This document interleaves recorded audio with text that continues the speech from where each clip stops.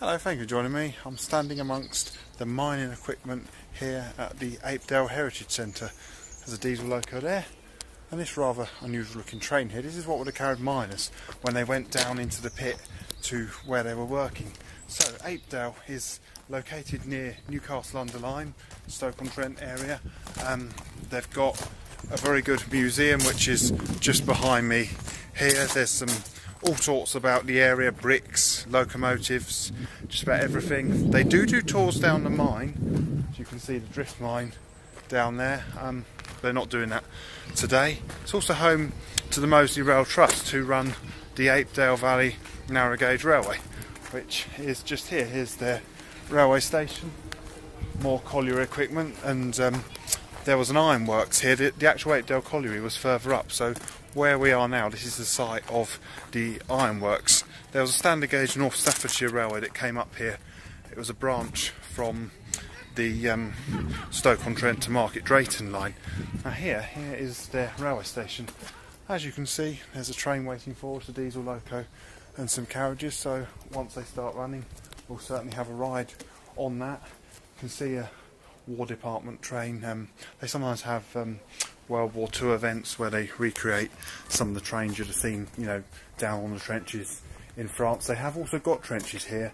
They're not open today, so we won't be able to go down there today. But anyway, here's our diesel loco. So really looking forward to a trip behind this loco, which will take us further off down the track down there. What I'm going to do, as soon as we've got a bit of time to wait until the train comes, I'm going to follow the footpath, which follows the railway line down.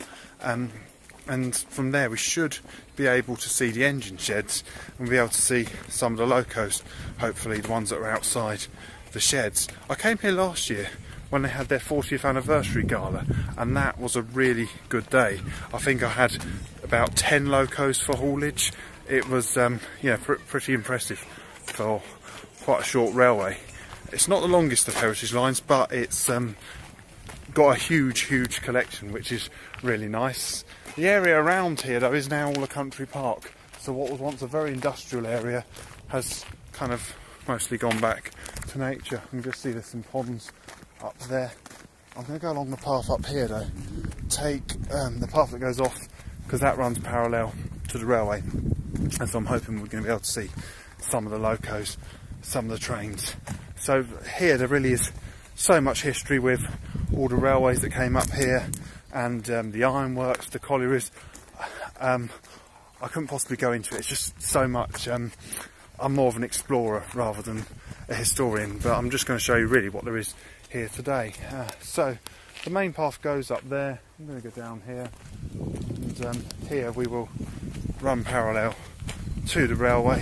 The trenches they've got are just over there in the field. It's also the other thing that's quite fun is going off down there there's another railway which they very, very rarely run passenger trains on. I had a ride last year at their 40th anniversary gala. So there's the station where we were a moment ago. Here's the railway line, so I'm just going to follow the track down. I can already see up ahead of us there's a load of locos outside the shed, which is great. In fact, it looks like most of the locos are outside the shed, which is obviously even better. So I'm going to be able to show you quite a few locos. Interesting, that's a that looks like the frames and a cab of a diesel loco. Um, I can see steam and diesel. Look at this ahead of us here. This is really quite exciting. So what have we got? We, start. We've got a simplex diesel loco. Admittedly, my knowledge of industrial locos isn't quite the same as mainline locos, so I'm not sure of every type, but that's definitely a simplex. There's a steam loco called Tattoo. There's her saddle tank there on a wagon. Got a motor rail diesel loco. Not sure about that one. A Ruston diesel loco. Interesting diesel loco there. LR2573. Another one that's got num called number 5. That one's the Simplex number 13. I think it says Alan Keef on it. That's probably a later loco, probably built for um, working in collieries. Maybe it was just overhauled by Alan Keef. I'm not sure. If you know, comment and tell me. And then we move on to our steam locos. Here we have Joffre, quite a famous loco um, for the area. Big, big steam loco for narrow gauge, but it looks big compared to some of the diesel locos And this one, this Edgar one, I believe that was built in France. And then what have we got here? Um, that was built in Leeds, that one. Admittedly, I just read that off there. A few more diesels. There's a Sham steam loco over there. That must have been built maybe for, I don't think it's one of the Alton Towers one, but one for a theme park. And then my favourite loco they have here, this one here, this um, Hunslet number 303. It's probably one of the biggest um, two foot gauge locos I've ever been on. So what I'm going to do now, I'm going to walk back to the station and have a ride up and down the railway. And then when I've had a ride on the railway, I'm going to go for a walk. And my plan is to show you, um, I'll show you the station at the other end, show you where they intend to extend the railway. So let's go back to the railway station.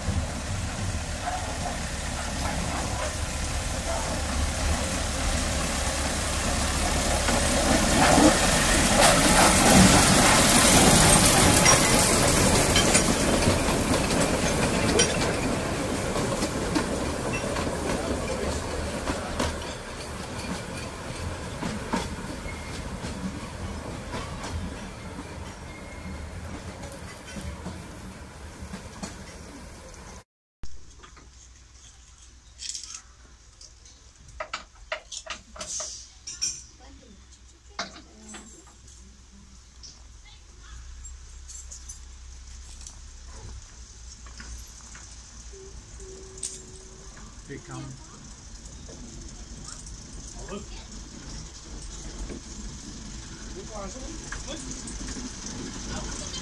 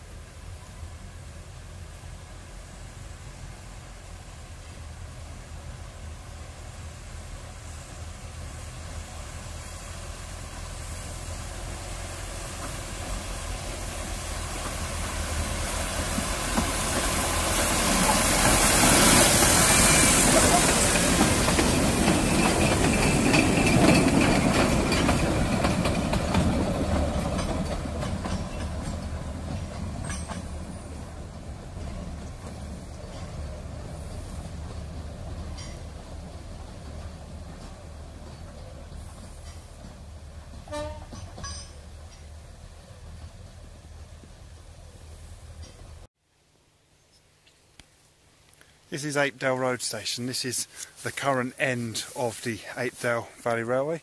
You can just see the buffers up there, but there are plans to extend the line further across the road up here and um, on through the country park. There's a couple of things I want to show you while I'm here.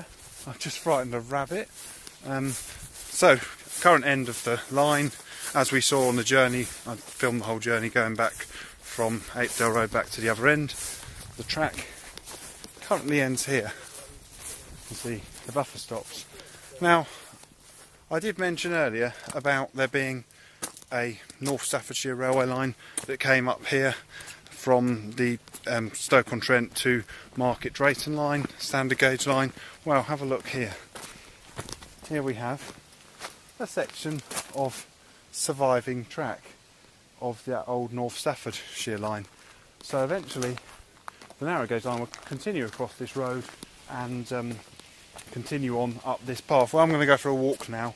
I'm just going to, now I've had a ride on the trains, I'm going to go for a big long walk all around the country park for about four or five miles, um, see what else. But I'm going to leave the video here. So I hope you enjoyed this video. Thank you very much for watching. I had a great time here. The volunteers were all very friendly. Um, so, you know, do come and visit the Apedale Valley Railway. It's a lovely railway. The Heritage Centre next door is also worth a visit. It's got some very interesting exhibits, a few more diesel locos. I've, to be honest, I've never ever seen anywhere where there's so many locos. I think here there must be more than 50 locos. I've seen so many diesel locos today. It really is a great place if you like local locos, and if you're not so interested in railways but you just like to have a ride on a train, come here, have a ride on a train, and then when you finish, you can go for a walk like I'm going to in the Apedale Country Park. So, from the Apedale Country Park, thank you very much for watching. Um, please do feel free to like, subscribe, comment. Thank you very much. Goodbye.